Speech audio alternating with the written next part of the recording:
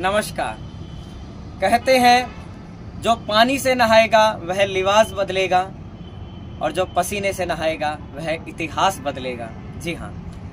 मेरा नाम महेश सैनी है, और मैं निदेशक हूँ, डायरेक्टर हूँ, RSC school, scheme number 10 Alwar से।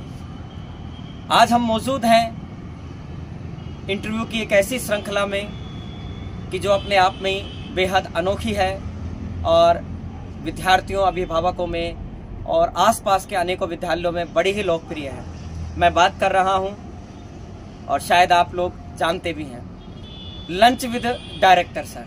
जी हाँ लंच विद डायरेक्टर सर 7.0 के अंदर आज हम लोग मौजूद हैं इस कड़ी के अंदर, एक शानदार इंटरव्यू के साथ। लंच विद डायरेक्टर सर एक ऐसी स्कीम है आरएससी स्कूल की, जिसमें बच्चे की प्रतिभा को मंच प्रदान करने के लिए बच्चे ने जो एग्ज़ाम्स के अंदर मेहनत करी है, उसे तराशने के लिए, उसे पुरस्कृत करने के लिए हम लोग बच्चों को अलग अलग जगहों पर, अलवर के अलग अलग स्थानों पर ले जा करके हम लोग लंच देते हैं। वहाँ उनके साथ बात करते हैं, बातचीत करते हैं इंटरव्यू शूट करते हैं और बच्चे के उत्साह को बढ़ाने का प्रयास करते हैं ताकि बच्चा को कॉन्फिडेंस लेवल हाई हो। मंच प्रदान करते हैं ताकि बच्चा अपनी बात को सभी के सामने बिल्कुल बेझिझक होकर के विदाउट हेजिटेशन के रख सके। आरएससी अपने हर बच्चे के अंदर ऐसी प्रतिभा को विकसित करती हैं।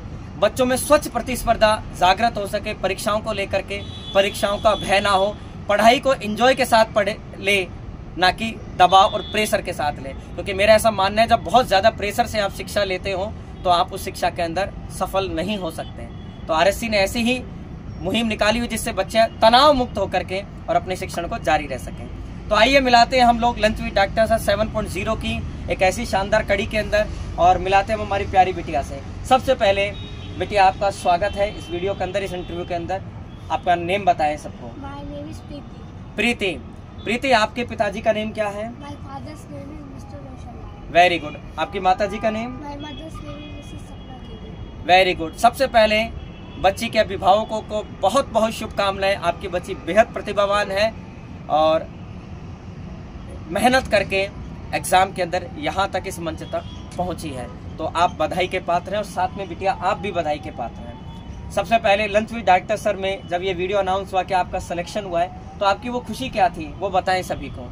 अच्छा लगता है और ये बहुत कैजुअल इंटरव्यू है बिल्कुल रिलैक्स होकर के सबको बताएँ। अच्छा खुद का नाम आता है। वेरी गुड अच्छा कोई कॉम्प्लीमेंट जब आप लंच विद डायरेक्टर सर में आए तो आप फैमिली की तरफ़ से क्या कोई कॉम्प्लीमेंट मिलता है आप कहते हैं कि आगे मेहनत करना और फ़र्स्ट आना और तो तेरे भाई को भी बोलना कि वो मेरे से- मेहनत करे वेरी गुड क्लास के बच्चे क्या कहते हैं जब आप उनको ये सारा एक्सपीरियंस बताते हैं तो वो क्या कहते हैं? कहते हैं कि हर बार तू ही है। अच्छा हमें भी आने का मौका दिया ऐसा बोलते हैं? हाँ, मैं बोलती हूँ कि आप भी मेहनत करो हम- आप भी आ सकते हो। तो कभी आपसे पूछता है फॉर्मूला कि पढ़ने का क्या तरीका है? प्रीति हमें कुछ टॉपिक बता दो कैसे करती हो आप ये सारी चीज़ें ताकि हम भी आ सके पूछते हैं? ऐसे याद करा करो ये बहुत अच्छी पहल होती है। कि ज्ञान को जितना प्रसारित किया जाए, ज्ञान की उतनी वृद्धि होती है। बल्कि ऐसा नहीं सोचते थे, ज्ञान मैं फ़र्स्ट आ गई तो बस मैं ही आना चाहिए, बल्कि उन्हें अच्छा आप अपने क्लास के बच्चों को ये बात बताते हो कि आपको ऐसे पढ़ना चाहिए, ऐसे नोट्स बनाने चाहिए टीचर्स की बात को तो बताते हो सारी चीज़ें? पूछते हैं बच्चे आपसे? वेरी गुड मानते हैं आपकी बात को बच्चे? ऐसा तो नहीं है? अच्छा आदेश तो नहीं चलाते ना बच्चों के ऊपर? पक्का? डराते तो नहीं हो ना? बॉस तो नहीं बनते? वेरी गुड अच्छा कोई ऐसी बात जो आरएससी स्कूल की आपको अच्छी लगती हो? कि जब मैं फ़र्स्ट टाइम स्कूल में एडमिशन लिया था तो मेरी बहन बोलती थी कि तुम्हारी स्कूल तो अच्छा तो है।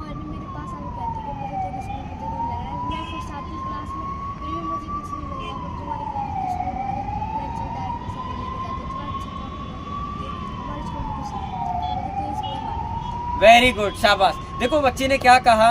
मैं बता देता हूँ कितनी अच्छी बात थी और सभी को जाननी चाहिए। कि जब इसने फ़र्स्ट टाइम स्कूल में एडमिशन लिया तो अक्सर ये बहुत लोग बोलते हैं कि आपका स्कूल छोटा है। मैं आपसे कहता हूँ स्कूल छोटा है बड़ा नहीं होता है। वहाँ की शिक्षा कितनी बड़ी है, ये डिपेंड करता है। वहाँ की व्यवस्थाएँ कितनी अच्छी है, वहाँ वो सब मिलता है जो एक बहुत बड़े स्कूल में मिलता नहीं है।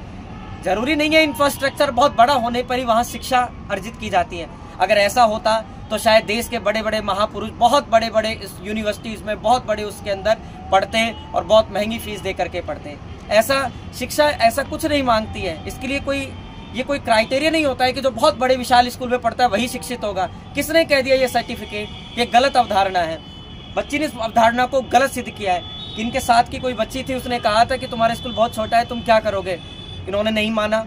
और इसने मेहनत करी जब ये क्लास में फ़र्स्ट आती है, ऐसी एक्टिविटीज़ वगैरह में बहुत अच्छा इसे प्राइज मिलता है, बहुत सारे सर्टिफिकेट्स मेडल्स प्राइज वगैरह और लंच में अगर सेलेक्ट होकर आती हैं तो आज वही बच्ची आकर के कहती है, मुझे तुम्हारी स्कूल में आना है एडमिशन ले रहे हैं, क्योंकि मेरी स्कूल में मैं फ़र्स्ट भी आती हूँ तो मुझे कोई ऐसा प्राइज नहीं मिलता है। तो कहते हैं, ये तो सच है। इनके इस बात के ऊपर मुझे पंक्तियाँ याद आ रही है, ये तो सच है कि जरा वक्त लगा देते हैं लो गर फन को मड़वा लो तो उन्हीं पलकों पर बैठा लेते हैं लोग। जी हाँ कि शुरू में आपका लोग विरोध करेंगे, आपको रोकेंगे, लेकिन यदि आप अपनी काबिलियत से अपने आप को सिद्ध कर देते हैं तो वही लोग आपकी बाद में तारीफ़ भी करते हैं, आपके उस संस्था की भी तारीफ़ करते हैं। तो बेटिया, बहुत अच्छा आपने अपनी मेहनत से उसकी सोच बदली, और ये इसी, उसी बच्चे की नहीं, अनेकों विद्यार्थियों की सोच बदलने वाला यह मेरा मैसेज हो सकता है।